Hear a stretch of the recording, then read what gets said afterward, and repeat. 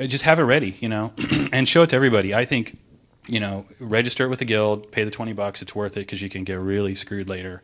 Um, and then if the if the location manager wants to see it, let him read it because someday that location manager is going to be producing because no I don't want to say nobody wants to be where they're at but so many people don't want to be where they're at and there are people who are going to go up the ladder and they can help you later so don't forget the PA who's unloading you know diet cokes into the thing because in my case there too somebody who was a PA I helped him carry an ice chest once and he's like they were all dicks to me but you were nice. You want to direct a music video? I'm like why? He's like because I'm making them in Europe now. Okay. So just get it out there. I'd say get it to everybody. We'll just go down the line, Misha. Oh, we're gonna oh, we're gonna do that. No, uh, I would say the same thing. I mean, um, my route was I paid one hundred and fifty thousand dollars to go to film school, and I got a referral from one of my teachers, luckily. Uh, but I I remember that when I was first in, when I was in high school, there was a site called Trigger Street, which you could. It was like one of the first sites you could put your your material online and get feedback and i think that's important is getting feedback making it as good as you can so when you get that opportunity to give it to someone that's going to read it and make a difference that it's it's the best thing that you could possibly put in their hands. Oh well i've got to agree with all of that. Um, and especially what was being said at the beginning there about you know getting things out but both have said about getting things out widely. I wasted, I think, years just kind of being too paranoid, like everybody often is, whether it's because you think things will be stolen or just because you feel like it's not ready. Um, and uh, I don't think that's worth really fearing about.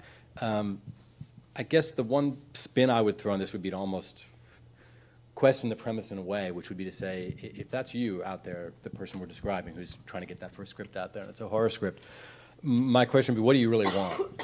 You know, if you're really a writer, even a great horror writer, but, but writing is what it's really about. I'd almost say don't, you know, do it differently and write something differently because, and something we can come back to, I think the fate of pure writing within this genre is, is very bad. right, it's very hard. There was an era when just having written some terrific horror movies, a guy like Ehren, Kru- Ehren Kruger or some other people I can think of who did terrific work and got lots of great work from having written a horror movie. But in general, I, I don't think that people look to the writers of horror movies, unfortunately, uh, even successful ones, to then advance. So, versus if what you are as a filmmaker, purely you want to make the movie, you've written it to make it, well, that's a whole other matter. Then you're alive and probably the best time ever to just go try to make your horror movie. Just try to do it. But again, I think if it's uh, about the pure writing, I don't disregard the film school. You're the peers you get from film school, the teachers and the recommendations is huge.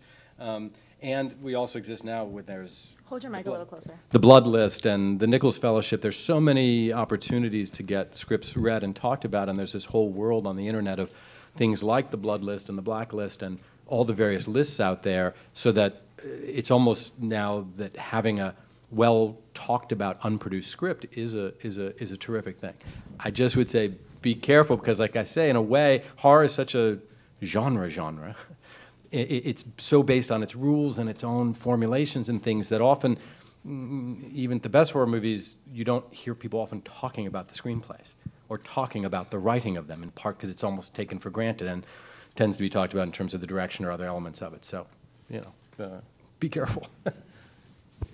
I think just from my perspective, uh, I can't stress the value of writing uh, a script for what your situation currently kind of permits. So, I mean, you know, case in point for Ritual, it's it was very easy to kind of write something for very cheap, and then it was easier to say, I'm going to make this movie and I'm going to make it now, and I just need a little bit of money. Because as soon as you start telling people that you're going to go and make a film, then people start taking you a little bit more seriously. And if you can say that I can get this film done quickly and I can get it done for much less money than you know a five million dollar epic where I'm going to destroy a, a, fucking haunted mansion, then uh, it's much easier to do so. I think um, that's just from you know what uh, what happened with us, and um, you know the other thing I think that's very important was my first job was as a script reader, and nothing is more of a necessity I feel like than reading thousands of just terrible scripts that are submitted every single day because you know you get to learn a pattern and you get to learn where you start to zone out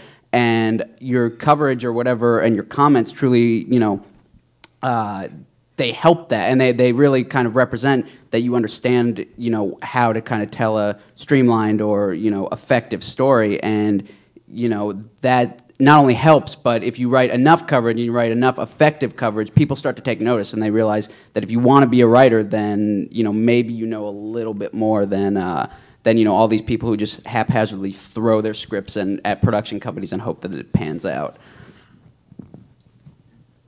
Yeah, I pretty much agree with everything they said. Um, don't be precious with them. I mean, if you can get somebody who is an ally for you, come to these types of things and meet people who want to work with you and make friends and get someone to be an ally because there's nothing more, um, I guess, uh, heartening than when you are out there, you're trying to get something read, and you maybe can't find someone, but you have that one person who, who's a champion for you, and you can kind of fall back on them. But don't be precious with it. Get people to read your script and, and get feedback on it. And I think the most important thing, at least for me, and maybe you don't have aspirations to direct, but like, I think making your content. Because ultimately, especially with the way the industry is now, you can't really rely on the, the standard machine. So if you have a great idea and you've written a feature length script and you're excited about it, write a short or turn it into a short or find a piece about that story that you think you can tell in two or three minutes and then figure out a way to get that shot. Because maybe someone won't watch your or read your script because it's a couple hundred pages long or 120 pages long but they certainly will watch two minutes of something that's really compelling. Figure out a way to get it on, on screen and get it watched